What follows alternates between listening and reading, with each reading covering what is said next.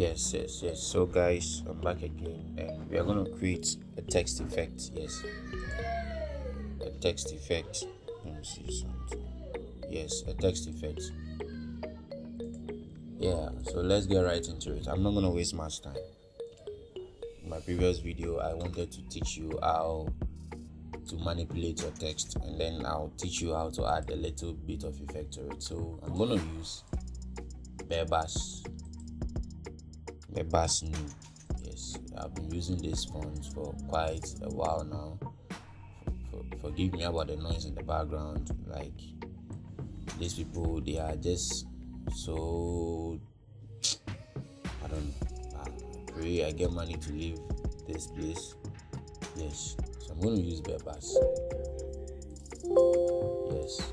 I'm going to use Bebas now so we're going to type prophetic.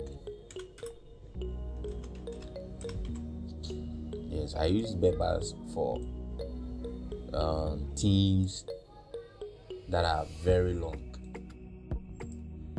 Yes let me let me set it to 10 i think 10 will be cool. Yes. Or let me set it to 25 25 is okay. Yes so i use Bebas for fonts that are very long no themes let's say celebrating the goodness of God like those kind of things. It's so long so you have to use something now. Will look will look nice in your let's your design. Let's type uh, gathering. Okay so that's it. And we are gonna let me quickly change. I don't know why this thing is in pink. Let me quickly change it to black i love working with that. Okay so you're gonna select your prophetic and you right click on it and come to you see rasterize type create work path or convert to shape. So convert it to shape. Okay and then you come and select the direction to direction selection to okay? So with the the part that you want to eh, manipulate or add an effect there you say you outline on that layer and then you your arrow keys you click the top one. You keep pressing it. Okay. You can see the T has raised so you can now select the portion of the E that you want to extend. Then the arrow to which you want to extend it use the arrow key to it so I want to move it forward so I'm using the forward arrow key to push it forward and we're good to go. I can make it go a little because I can feel it is not extending to the edge of the T. So I think that's it. And that's the only thing I can do here. Don't overdo it because you end up doing certain things that is not nice. We are good to go. So now let me convert the gathering to to a shape I know most of you know how to do this already. Now, with the gathering tool selected, uh, the gathering text selected, and the selection direction selection tool selected, you go and extend the path that you want to extend. So I want to drop down one this part of the H, so I'll use the down arrow key to drop it down, and then I'll select the part of the T I want to move forward and extend it to the other side.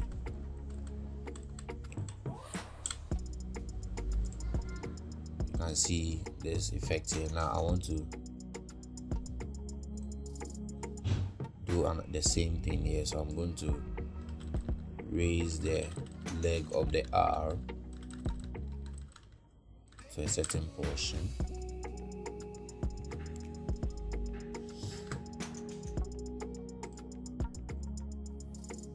And drag this thing here. The part of the E to align with the R. And now there is this effect. If you want to do it fine. It just came in mind. I didn't do it in my previous one but I want to extend this thing here to look as if the E and the R is see the effect. Ah damn it. Yes so guys this is what i want to teach. And let me show you something quickly something real quick. So that's all. You have to convert it to a shape. Use the direction selection tool. Select part of the, the text that you want to extend. And you are good to go. Now there is this thing that i want to teach. I'm going to let me group them first and duplicate them. I don't want to use this one so. Now let me merge let me merge this thing. Now i'm going to teach you another effect which you are going to see at the end of the video. So i'm going to uh, i'm going to duplicate i've merged this thing okay? And then try rotating it okay. And then the rotation bar set it to 45 okay set it to 45 okay yes. And set it to 45 then oh. Then you're you're going to hold, hold the alt key. Okay I'm going to hold the alt key and then the the direction of the arrow should be forward not backwards. Yes so hold the alt key and then continue and hold the alt key and continually press or just hold the alt key and then the, uh, the arrow key the forwarding and the forward arrow key continuously. Don't leave it just continuously press it like that. So you see the transformation control thing moving yes so you can leave it if you want but i want to show it some more. I want you to move some more and leave it. You see the effect that i'm creating. So once you do that it is going to create a lot of layer layers for you. Yes. So let's let's wait for it to load a bit. It is going to create a lot of layers for you. I want this thing to load and then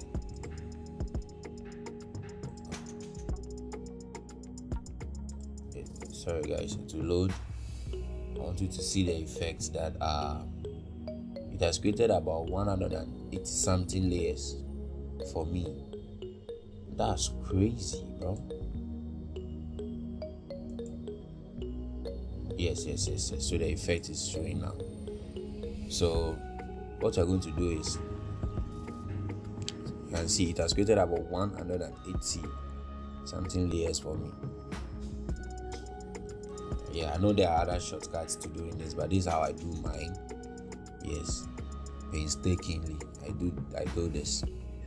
So this is what you're going to do. You're going to select all the layers. All the layers and merge them so that you don't stress yourself here. So i'm back. And i'm going to overlay this one on top and I'm going to rotate.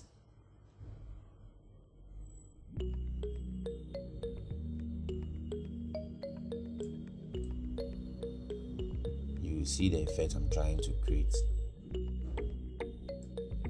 So this way let me turn this first one to white and then you see the effect I'm creating. Let me change it to white. Yes yes yes yes yes uh, I think even yellow is okay. So let me uh, quickly adjust my I think I didn't rotate it well.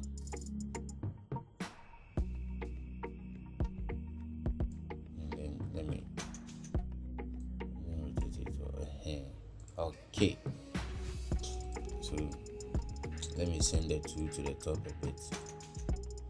Uh-huh. so you see the effect I'm creating now if you wanted to drop down to the other side then you have, you have to your first rotation should be set to negative 45 but if I want it to shift to the left. So you duplicate the one behind the black one behind and then you drag and drop. You drag it down.